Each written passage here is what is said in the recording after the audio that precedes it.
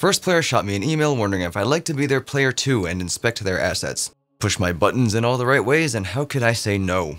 The FireRose RGB is a full-size keyboard and an impressively sturdy one at that, coming in at 1 kilogram with a 1.6 meter cable. It features water and dust resistance, two fold-out feet for a slightly heavier incline, injection molded keycaps, media controls on the function keys, Windows lock, and 100% anti-ghosting with replaceable Outemu Blue switches with a 50 million click lifespan. If you like Cherry Blue switches, these aren't those, but they're not too far off. Once you start typing, you'll feel like you're knocking on heaven's door. It's a it's a Guns N' Roses song. Guns N' Roses? Fire Rose? No? Okay, fine.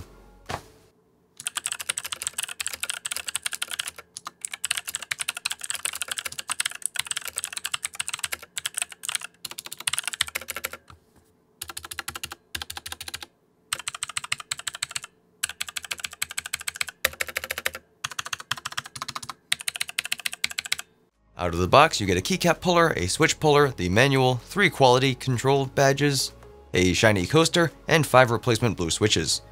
I sort of wish these were different switches so you could have some sort of variety, but on the bright side, RGB. Kind of. There's no advanced software control, but with the function key, you have access to a healthy number of effects like static, giving you the color options of blue, green, yellow, purple, teal, white, and red. Then you've got gaming mode, where you can swap the patterns using function and the numbers 1 through 5. Function and the home key will allow you to customize the patterns to your liking. Next is reactive, which gives you the same color options as static, in addition to a rainbow type lighting effect. After that, you have a fairly choppy rainbow wave effect whose direction can be changed if you try to swap colors. The next effect is called wave, with the same color options as before, followed by a type lighting ripple effect, something they call a touch and go effect, another kind of wave effect, this one spanning the full keyboard, a breathing effect, and what they call a neon effect, which looks more like a color cycle to me. Some effects allow for speed and brightness control, but if all that's too tacky for you, you can turn the LEDs off. Last noteworthy feature is it's waterproof, but they say don't put the keyboard underwater. Come on, first player. Don't be a wet sandwich. A wet sandwich, even. Though I should note that after accidentally dumping water on it, the LEDs remain unaffected, but the keyboard itself was rendered useless until it was dried out, as the keystrokes resulted in triggering double taps or adjacent keys. Removing the keycaps reveals exposed PCB, which is also visible from the drain ports below, so while it can potentially survive being a bit moist, it won't help you maintain your uptime. On the not so bright side, there's no wrist rest, and that may or may not bother some of you. And even though it's an RGB keyboard that advertises 16.8 million colors, you really only have access to a handful. And, on that note, Caps Lock, Scroll Lock, and Number Lock are only available in blue. The rest of the colors are just a technicality when it comes to transitions within effects. Speaking of colors, there's a subtle Fire Rose branding above the arrow keys that comes in red, which may or may not cause color conflicts with your aesthetic, but it's not super obnoxious, so that may not be a huge deal for you.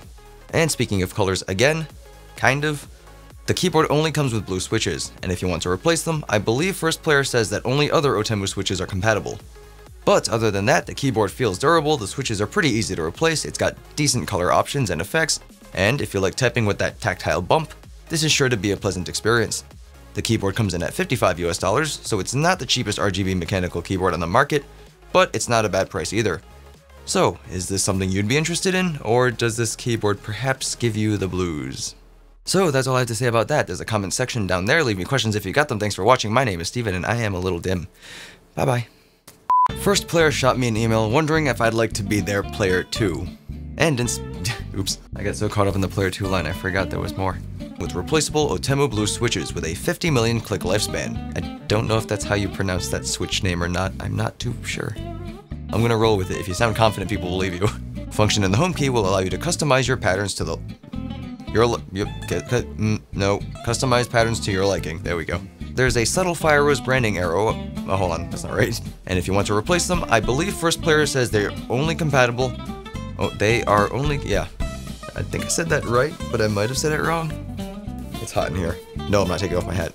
First player says that only other Outemu Blue switches are compatible. Not blue. Other Only other Outemu switches. Yeah, thanks for watching. My name is Steven, and I am a little dim. Bye-bye. Wow, that did not flow very well at the end. I'm not sponsored by Monster, but I am supported by it. Ha!